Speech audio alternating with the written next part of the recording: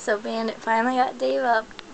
Just wanted to be really close to his face. Close enough to make me congested.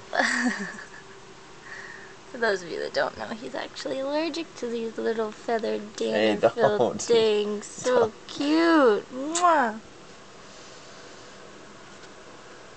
It's pretty cute. Gregor.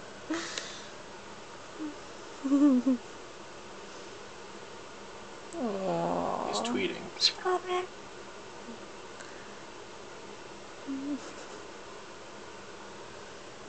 Hey, Gregor.